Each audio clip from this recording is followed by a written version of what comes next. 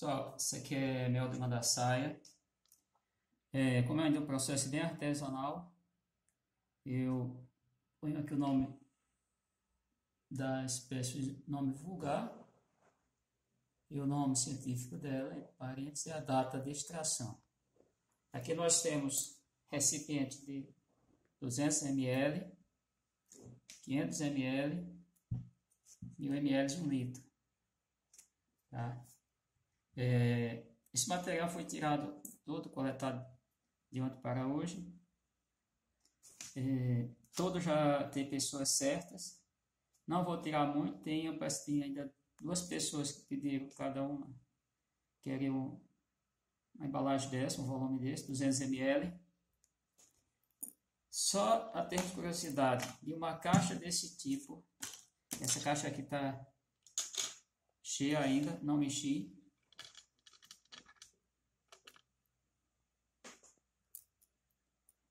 Uma caixa desse tipo aqui, ó, tá cheia, tá tanto cheia aqui quanto aqui, só tem um ninho que tá centralizado, que essa caixa, eu já falei, que aqui o ninho dela ficou centralizado.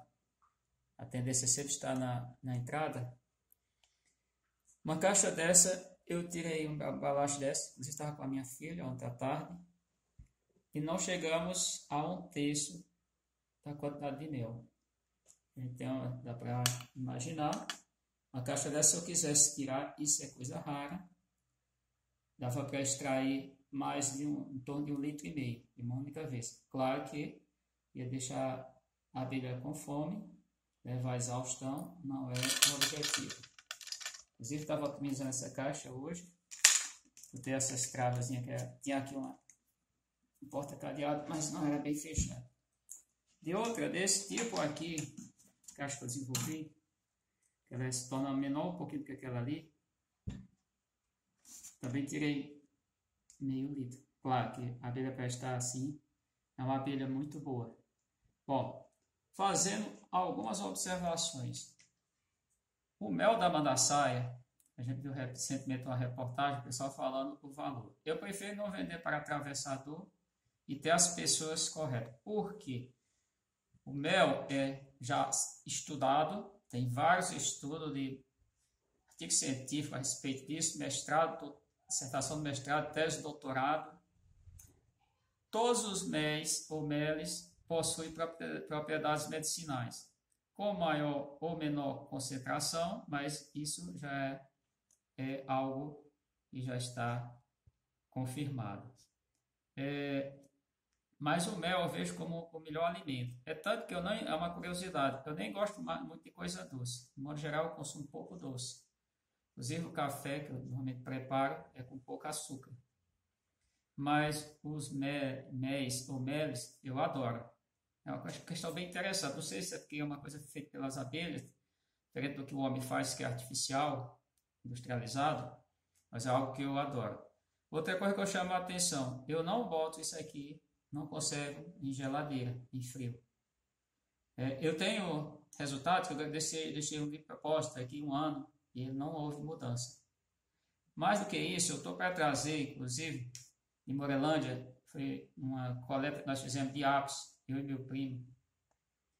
Se não me engano, maio a junho de 2004, portanto, há 14 anos, eu vou trazer esse mel para ser analisado do ponto de vista químico bacteriológico. Inclusive, esses que eu é, passo para as pessoas, eu recomendo quem quiser, tiver curiosidade, só é você ver como é o cuidado que eu tenho com o mel, com as minhas abelhas. Então, o mel é um dos poucos alimentos, eu acredito que talvez o único, não vou garantir que seja o único, que ele está no assim, hermeticamente fechado, bem conservado, ele não tem o risco de estragar, ele não tem tempo de vencimento, prazo de validade. Se pegar qualquer outro alimento, tem. É claro que você pega alguns, algumas pessoas vendendo mel de apos com indicação de tempo, claro, deve consumir nesse período, é interessante. É que a pessoa não vai ficar com o tempo todo. O que eu recomendo, isso é importante para o consumidor e para outros mel, tipo de mel, é, ao abrir, quebrar esse lacre, você levar esse mel conservar na geladeira. Motivo, você quebrou o lacre, não vai mais fechar como antes. Isso aqui está fechado. Só, só abre se forçar.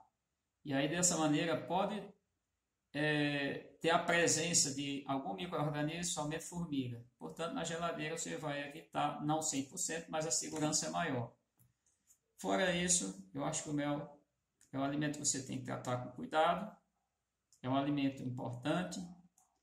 É, o valor que eu pratico aqui na região, até quando eu não tenho anúncio em meios sociais, redes sociais, valor do produto, eu garanto que é o mais barato possível. É o que está em.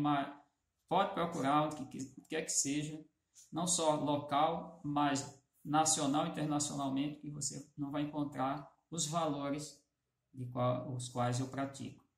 Portanto, porque eu não vivo disso. A Bíblia, para mim, também quer salientar: a abelha não é, é. Eu não faço coleção de abelha, não sou colecionador, não sou robista, estou mais para tentar entender. E obrigado àqueles que disseram que eu sou um estudioso, não sou. Não estou dentro das academias, claro que eu procuro entender. Leio muito, muito sobre as abelhas Talvez eu, bem distante, não quero que me comparar jamais, esteja mais próximo do que fazia o padre Humberto Bruni, que não estava nas universidades, não estava na, nas uh, instituto de pesquisa, no entanto, ele leu muito, estudou muito a, a jandaíra, que é a Melipna subnítida. Eu tenho interesse maior pelas abelhas da Caatinga, óbvio, sou dessa área, território nacional, nasci nessa área, vivo nesta área, mas em especial a mandacaia da catinga, que é a melipona mandacaia, e a urossul do chão, que é a melipona quickfaciata, que dentro da, de todos os meses que eu já provei, Brasil afora, não tem melhor. É o mel da urossul do chão tem uma palatabilidade que é incontestável. É uma delícia, é um mel de alto nível. A abelha, no entanto, faz no subsolo. Então, essas dicas para vocês. Vocês viram no vídeo que eu postei quando eu, essa semana eu estava fazendo só, só retirei dois potinhos desse. E aí o vídeo a gente não pode ficar muito tempo, porque tem toda uma demora. Isso aqui é um processo artesanal, como eu acabei de frisar. É, cuidado muito quando for manusear esse alimento. Cuidado no armazenamento. E cuidado também na prática para quem você está vendendo. Seja é, parcial, imparcial, seja coerente, faça a coisa certa. Então fica esse relato para vocês sobre esse alimento. De fato, eu coleto pouco, eu coleto mais para o consumo da família. Para venda, para passar para alguém, é muito pouco, porque eu não, como eu disse, eu não sacrifico minhas abelhas. Só ter curiosidade o ano passado uma pessoa ligou várias vezes que queria de qualquer preço. Agora ligou outra que queria de qualquer preço. Eu disse, não tiro. Não vou tirar o mel para ninguém. Eu não vou forçar minhas abelhas. Não forço mesmo. Abelha está bem, ela precisa de alimento. Então, acho que é isso. Essas dicas que eu deixo para vocês que acompanham aí nas redes sociais. O, o Abelhas do Bioma Caatinga. É, deixe o seu like, faça sua inscrição é, através dessa maneira que a gente fortalece o grupo e o entendimento sobre as abelhas.